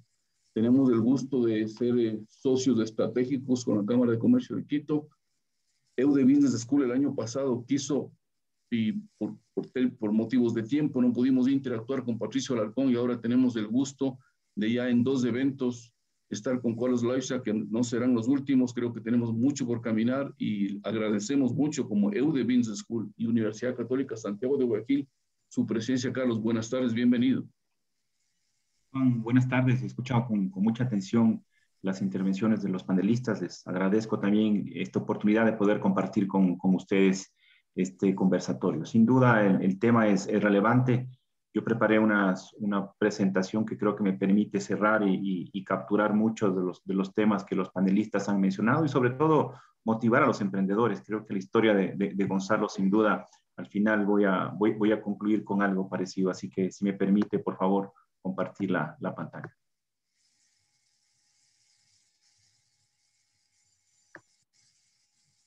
Eh, ¿Logran ver mi pantalla?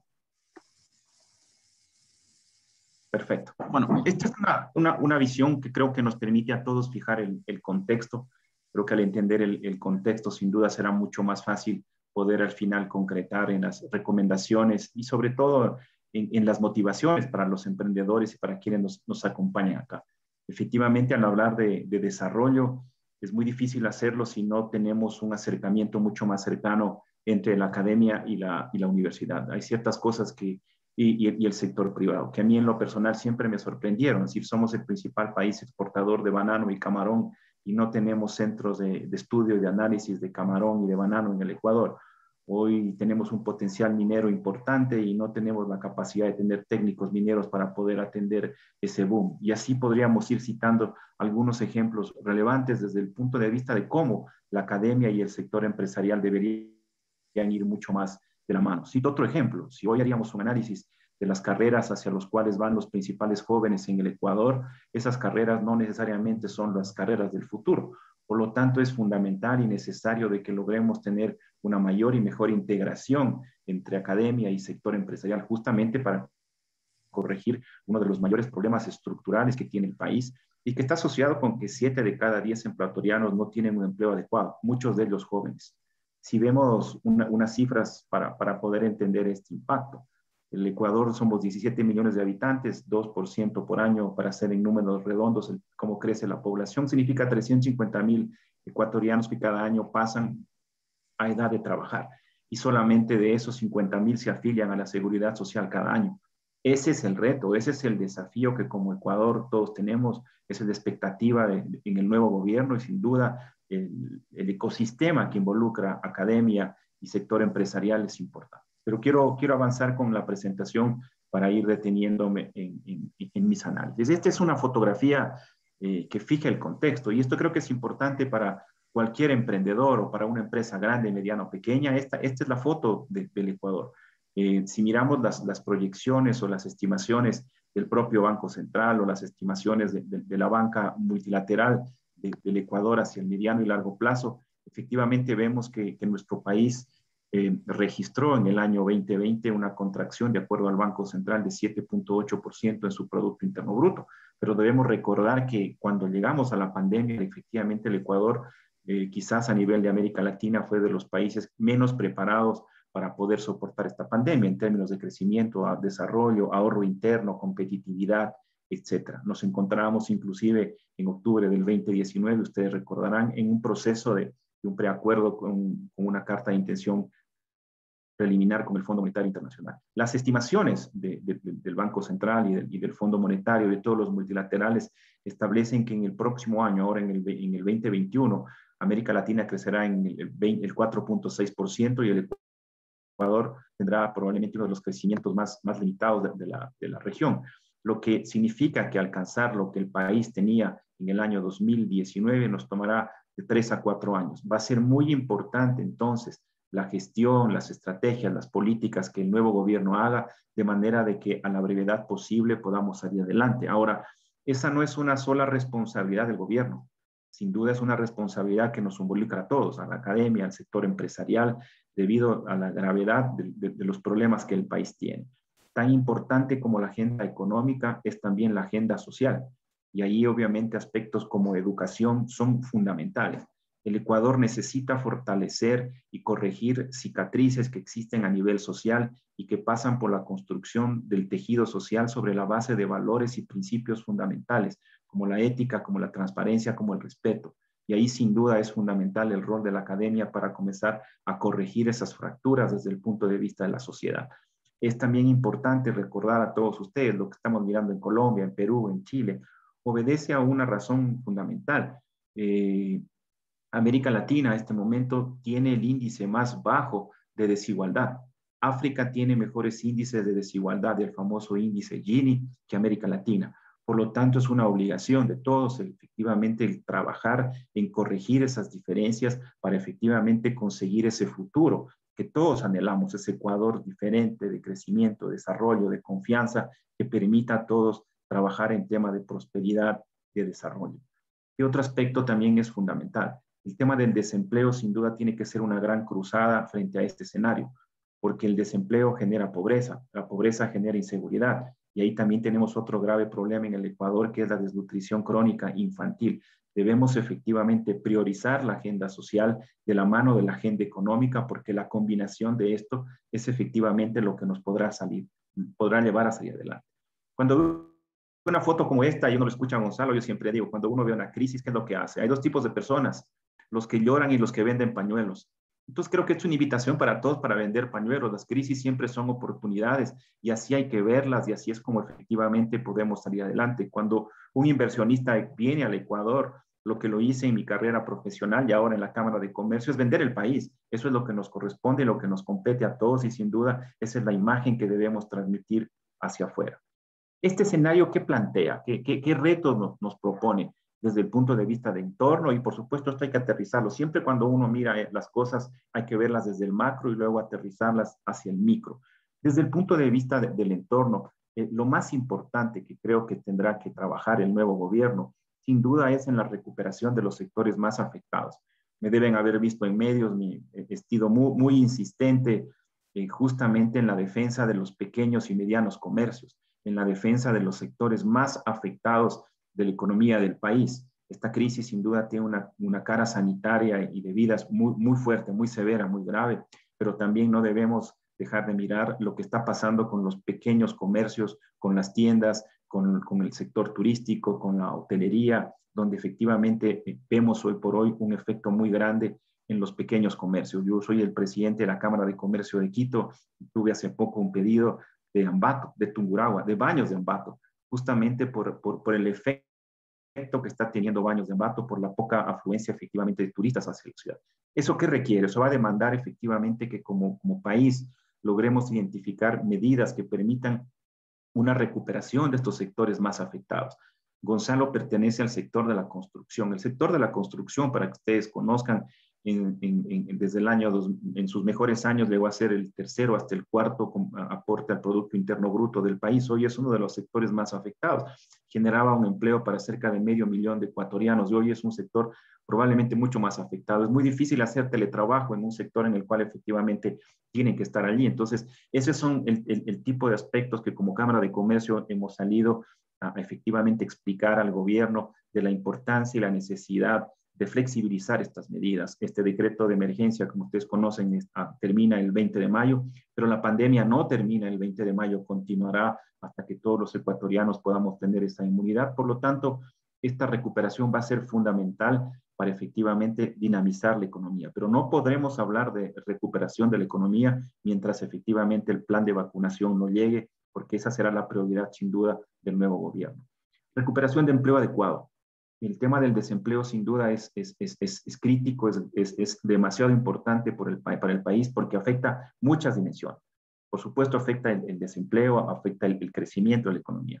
Cifras, eh, les mencioné en, en, el, en el cuadro anterior que efectivamente el Producto Interno Bruto del país disminuyó, si queremos hacer en números redondos, aproximadamente un 10%, la población creció 2%, no, la población ha crecido mucho más que el PIB. ¿Eso qué significa? Que somos más para una economía que disminuye, por lo tanto, en valores unitarios, hablando de un PIB per cápita, el Ecuador se volvió un país más pobre en términos unitarios como ecuatoriano. Esos son los desafíos y los retos bajo los cuales debemos justamente incrementar nuestra capacidad de producción como país para que efectivamente permita que el sector público y el sector privado podamos tener capacidad para emplear a los nuevos jóvenes. Yo suelo decir que aquí se vendió, una, se vendió un sueño falso de que nos graduábamos de la universidad y al día siguiente tenemos empleo. Esa creo que para los jóvenes es, es, muy frustrante el no poder, el que el Ecuador no pueda tener esa capacidad de generar empleo justamente para los, los jóvenes universitarios que salen de las universidades. Y aquí yo creo que es un foro muy importante para, para compartir esa necesidad de que el sector privado y la academia vayamos mucho más cerca. Yo les mencionaba el ejemplo del banano, del camarón, eh, la minería. Es fundamental que se redefinan las carreras académicas. Ustedes saben muy bien que la tecnología va a desplazar muchas de las profesiones y muchas de las carreras actuales. Esta pandemia lo que hizo fue acortar esas brechas, carreras que se pensaban que iban a permanecer 10, 15 años. Hoy la pandemia las ha traído a 5, 6, 7 años, porque ya tenemos tecnología que es capaz de sustituir a trabajos manuales repetitivos y, operativos que las personas los hacíamos. Por lo tanto, cuando uno mira la, oferta académica de las universidades y hacia dónde van los jóvenes ecuatorianos, vemos que eso no se relaciona con el mundo del futuro en términos de cuáles son esas carreras del futuro. Por lo tanto, ahí tenemos una misión en conjunto para trabajar justamente en entender cuáles son esas carreras del futuro para asegurar que esos jóvenes profesionales efectivamente tengan un empleo adecuado. Y sin duda la innovación y la competitividad. El sector empresarial debemos innovar, debemos competir. El mundo va hacia un esquema de apertura, ya no un tema de proteccionismo. Por lo tanto, el Ecuador es un mercado de 17 millones, el mundo mucho más, y ahí existen oportunidades para los pequeños, para los grandes, para los emprendedores, justamente en buscar alternativas de poder desarrollar productos y servicios que efectivamente el Ecuador tiene capacidades para poderlo hacer desde el lado de las, de las pequeñas y medianas empresas, desde el lado de los emprendedores, que es un poco lo que he venido escuchando a las personas que, que me han precedido en la palabra. Primero, lo que tiene que ver con la parte de formalización. Es muy importante el poder apoyar a los emprendimientos desde su etapa de nacimiento para que efectivamente podamos asegurar que ese va a ser un proyecto, un emprendimiento exitoso. La profesionalización desde el punto de vista de la propia administración y de la propia comercialización.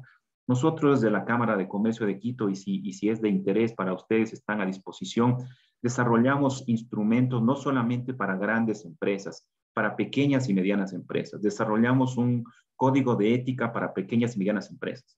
¿Por qué es importante el código de ética? Porque efectivamente eso profesionaliza, eso formaliza la forma en la cual una pyme efectivamente se desarrolla, pero sobre todo cuando va a buscar financiamiento a una institución financiera, tiene guías para poderlo hacer de mejor manera. Y otra herramienta también, Juan, que yo creo que va a ser importante que la compartamos con ustedes, son los 10 pasos para un emprendimiento honesto en el Ecuador. Si usted y yo hoy decidimos emprender, ¿cuál es, qué es lo mínimo que deberíamos cuidar para asegurar que desde un punto de vista de, un buen gobierno corporativo, de profesionalización, de un esquema adecuado de toma de decisiones debemos hacer? Esos documentos están a disposición de ustedes, por favor, para que los puedan compartir con quienes ustedes lo requieran. Y por supuesto la digitalización, ¿ah? algo que nos trajo la pandemia es digitalizar. Hoy estamos teniendo este panel de esta manera. Esto no va, esto no va a cambiar. Esto se quedó. La digitalización y este tipo de herramientas efectivamente van a quedarse por adelante. Y un reto importantísimo, sin duda, es cómo colocar un producto, cómo asegurarme que yo puedo colocar mis productos en, a mi consumidor, en mi canal.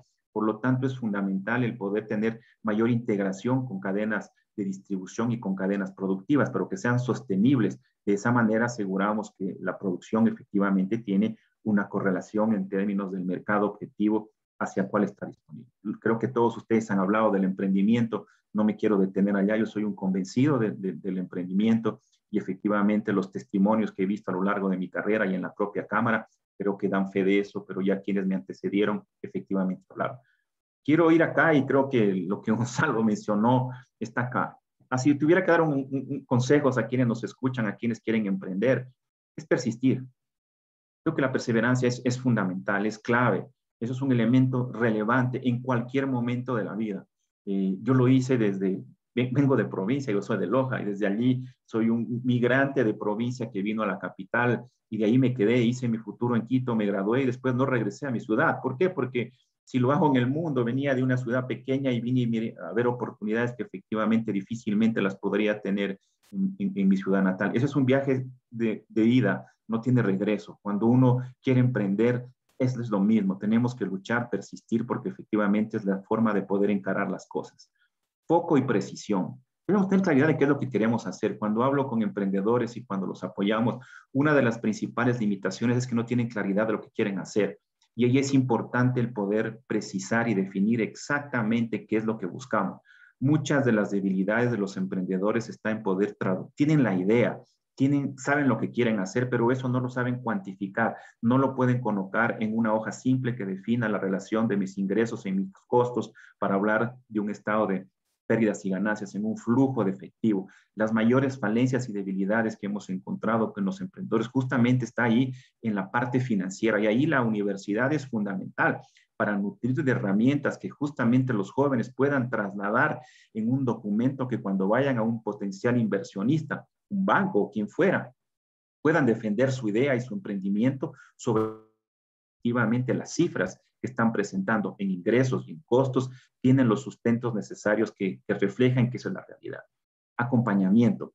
Una de las principales eh, debilidades es que justamente los emprendedores no tienen en el país ese esquema de acompañamiento. Falta mejorar el esquema de, seguimiento desde el ciclo de vida, desde el momento que tengo una idea que se convierte en un prototipo, en un producto económicamente viable, hasta que yo puedo crecer.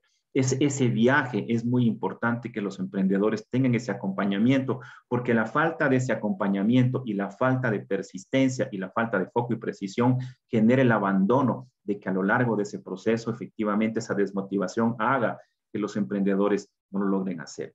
Apoyo y soporte financiero, sin duda. Eh, no podemos eh, eh, es muy difícil que el ecosistema de emprendimiento se desarrolle con tasas de interés y con los requisitos que nuestros emprendedores requieren o, los bancos de solicitan. Debe necesariamente flexibilizarse y buscarse alternativas que permitan efectivamente que los emprendedores puedan tener acceso a fondos de capital de riesgo, acceso a planes de financiamiento de banca privada o de banca pública, ya lo mencionaba Gonzalo, con tasas de interés más bajas y con plazos más, más, más amplios, de manera de que efectivamente el emprendimiento pueda avanzar. Pero sobre todo ética y transparencia. Yo presido la, la, la, Comisión de Integridad y Anticorrupción y efectivamente algo que todos tenemos que comenzar a corregir ya tiene que ver con devolverle al Ecuador la ética y la transparencia que necesitamos. Esa es una forma también de construir país en cada una de las tareas que hagamos en cada uno de nuestros, de nuestros frentes de trabajo, como profesor, como estudiante, como empresario, como empleado, como profesional. Sin duda creo que estos son elementos relevantes que permitirían justamente desarrollar un emprendimiento en el Ecuador. El Ecuador tiene capacidades, logramos, somos el principal exportador de, de, de, banano, somos el principal exportador de camarón, tenemos el mejor chocolate del mundo, una industria que la desarrollamos hace 15 años. Exportamos palmito, tenemos un potencial agroindustrial enorme, tenemos condiciones y capacidades que efectivamente permiten desarrollar este país y, segura, y, por nuestra ubicación geográfica, por nuestro clima y como los, los panelistas que me antecedieron, esa cultura de emprendimiento, creo que se generan condiciones efectivamente para desarrollarnos en un esquema en el cual el Ecuador logre abrirse al mundo, creo que sin duda nos permitirá a todos tener grandes oportunidades de crecimiento y desarrollo. Muchas gracias, Juan, por el tiempo. Muchas gracias, gracias tiempo. Pero eso, parecería que hubiésemos repasado y practicado el orden porque no solamente eh, Carlos ha hecho un adecuado resumen transversal de lo que se, se, trató esta tarde, sino lo que se ha tratado martes, miércoles y este jueves. Muchas gracias por esa intervención. Destaco sobre todo ese compromiso, Carlos, que pone la Cámara de Comercio de Quito para ser parte de este andamiaje que empuje al emprendedor. Creo que yo equivocadamente hace algunos años el emprendedor los emprendedores veían a la Cámara de Comercio como aquella organización lejana de grandes empresarios con ternos caros que se reunían y estaban muy lejos del emprendimiento. Y ahora vemos que es diferente. Están aterrizados, están junto al emprendedor, le están dando herramientas, pues ha puesto a consideración el código de ética varias documentaciones que podemos nosotros acceder desde el, desde el emprendimiento. Entiendo que hay vías para hacer, eh, ya hay socios individuales, no solamente socios corporativos de la Cámara. Me parece espectacular este apoyo. ¿Qué le pasa a la academia? La academia también tiene que hacer su trabajo. Y gracias por darnos ese compromiso en el sentido de actualizar nuestros programas y ser aquellos motores que le permitan al, al estudiante cuando sale de la universidad, cuando sale del posgrado, que pueda enfrentar a este mundo del emprendimiento. Las ventajas de las escuelas de negocios, de las escuelas de posgrado, es que hacemos esa amalgama, esa mezcla entre el docente que es puramente académico y aquel empresario que ya se equivocó, que ya se cayó y que ya se levantó. Entonces te va a enseñar a ti como emprendedor a que puedas tener lo que decía Carlos, el plan de negocio. tener un plan de negocio, tener un checklist pequeñito para decir, cumplo estos pasos y con esto inicio y voy adelante. Gracias, Carlos, por esa intervención. Gracias a ustedes. Tengo las preguntas que son por motivos del tiempo, una para cada uno. Y quisiera empezar justamente con Carlos, de la pregunta que nos han hecho, que hemos escogido como una de las importantes, no porque las otras no lo sean, sino por cuestión de tiempo. ¿Cuál considera usted debería ser el protagonismo de los sectores primario, secundario y terciario de la economía ecuatoriana y en cuál de estos tenemos mejores posibilidades de éxito? Yo creo que la, clave fundamental, yo soy un convencido de la agroindustria. Me parece que el Ecuador debe enfocarse en la, en la agroindustria. Tenemos un potencial enorme y, y, es un ejemplo sencillo. El mundo no tiene la capacidad suficiente para producir alimentos. Cuando uno entiende eso, ve el potencial que efectivamente el Ecuador, el Ecuador tiene. Por lo tanto, creo que debemos enfocarnos hacia esas capacidades que son diferenciales del país y que, y que tienen esas capas que usted menciona. Pero si, si, si podemos fortalecer, por ejemplo, educación dual para sectores en los cuales el Ecuador efectivamente es relevante, creo que tenemos un gran potencial y eso efectivamente combina lo que ya modelos como Alemania, que son muy claves, en los cuales la educación dual es muy importante para el desarrollo, y eso combinado efectivamente con formación universitaria y con formación superior eh, o nivel de posgrado, de maestría, creo que sin duda fortalece y, va hacia allá. Queremos, le quiero compartir otro proyecto en relación a lo que hablaba como Cámara de Comercio de Quito. Queremos pensar en cuál es el Quito del futuro. Y ahí va el desafío para las universidades es una reflexión. La Cámara tiene por estatuto que crear la comisión de la ciudad. Y lo que queremos hacer en Quito es pensar todos los quiteños, no es la Cámara, todo lo que usted decía, acercarnos, decodificar muy bien qué es lo que los quiteños quieren en el mediano y largo plazo. Y una de las tareas después es, si ese es el Quito del futuro en términos de infraestructura, de, competitividad, de empresa, de desarrollo, regresar a las universidades y decirles, bueno, ¿cómo ustedes van a aportar si esto es lo que Quito se está proyectando hacia el futuro? Esa es la forma de planificar y de que a futuro, a 20 años, a 30 años, podamos saber efectivamente hacia dónde vamos y qué es lo que como empresa, como ciudad, como país y como academia debemos hacer. El punto, Carlos, perfecto. Muchas gracias por la respuesta. Eh, yo creo que supera mucho las expectativas de, la, de lo que nosotros hacíamos en este evento, definitivamente lo de ustedes. Mateo, ¿es posible que se consideren programas de desarrollo de habilidades blandas para el grupo de emprendedores adultos, muchas veces por diferentes motivos, este grupo de emprendedores, los adultos, no ha desarrollado las mínimas y convertir estos emprendimientos, perdón, pero al igual requieren para emprender, convertir los emprendimientos en empresas sostenibles. Totalmente, y creo que es una, una, una, excelente pregunta. Por términos de tiempo no les puede comentar, pero nosotros mantenemos un programa de apoyo a, a nivel nacional gracias al, gracias al apoyo de aliados eh, como multinacionales en el cual trabajamos con microcomerciantes y tenderos y tenderas a nivel nacional. Entonces, justamente, y trabajamos con ellos en, una, en un formato virtual y con un asesor de campo que les va a visitar y les ayudamos a desarrollar estas habilidades blandas, pero también conectadas con cómo armar un plan de negocios, cómo establecer eh, temas de educación financiera, cómo identificar cuáles son tus ingresos, tus egresos, que es justamente un poco lo que comentaba Carlos en función de cómo tener una visión macro de, cómo está mi negocio y tener una, radiografía también. Entonces, en efecto, es algo que, se lo debe hacer, que lo estamos haciendo, eh, pero sin duda creo que también es este, este tema de conectar con la academia y, y conectar con la empresa privada, en el cual hacemos un trabajo mancomunado y colaborativo. Y el, modelo alemán de la educación dual creo que es, es muy importante eh, y es algo desde lo cual, desde la 21 como empresa social, lo que buscamos es justamente aportar este proceso educativo y, y aportar al desarrollo de, de, emprendedores y también personas que se den cuenta eh, que por un lado está la parte técnica, pero por el otro lado también está el, fortalecimiento de habilidades blandas que son complementarias eh, y que en un, en un tema de un mundo cambiante y un mercado laboral hipercambiante, yo diría, eh, creo que tenemos que estar mega preparados y sin duda creo que la población adulta y la población joven debe reforzar estas habilidades y es algo que lo estamos implementando y ahí pueden visitar nuestra página web en lab21.com y justamente es este programa que se llama Mantana, que, que lo trabajamos a nivel nacional. Gracias, Mateo. Yo creo que también debemos recordar a quienes no lo sepan que en, términos de normativa dual, eh, tenemos una normativa a nivel nacional, pero comprometemos a la nueva Secretaría de Educación Superior para que también se pueda socializar de manera adecuada hacia todos los campos y dejar de ser una sociedad que en algún momento se, se convirtió erróneamente en compradores de títulos. Entonces tenemos y conozco de empresarios súper exitosos que no tienen pregrado y que a veces cuando viene eh, la academia y les ofrece en la escuela de posgrado una maestría, dice, sabes que no puedo porque no tengo pregrado. No tienes pregrado, pero eres un empresario súper exitoso. Y en ese ejemplo también existen adultos mayores que lo que quieren es, como te decían antes, una pastillita pequeña, un par de talleres, una capacitación rápida, fugaz, flash, para poder, poder seguirles empujando adelante. Muchas gracias, Mateo. Y termino con Gonzalo León en una pregunta eh, que dice así. ¿Apostaría usted a iniciar un proyecto vía alianza público-privada? ¿Sí o no? ¿Y por qué si sí? ¿Por qué si no? Eh, no tienes el micro, Gonzalo. Eh, muy buena pregunta y, difícil de contestar.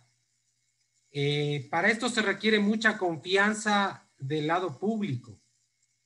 Y al momento no hemos visto esa confianza. Quizá con el nuevo, con el nuevo gobierno, con las nuevas políticas, podría pensarse en esa alternativa, pero en las condiciones actuales está cerrada esa posibilidad desde mi punto de vista. Perfecto, Gonzalo.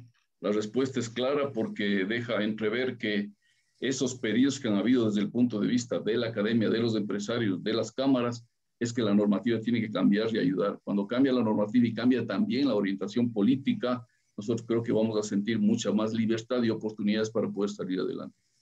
De parte de quienes eh, organizamos eh, EUDE Business School y la Universidad Católica Santiago de Guayaquil. Agradecemos la presencia que han tenido durante esos tres días, las personas que nos acompañaron en vía virtual y quienes no en la grabada en Europa, que la están disfrutando.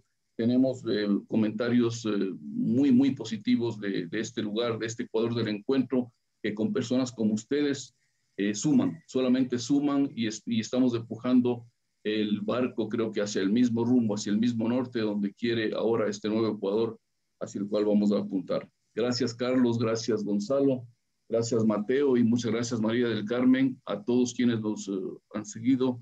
Esperamos en poco presentarles otra actividad muy importante desde el punto de vista no solamente de la academia, sino de la sociedad. Buenas noches, gracias a ustedes. Buenas noches, gracias a todos. Buenas noches.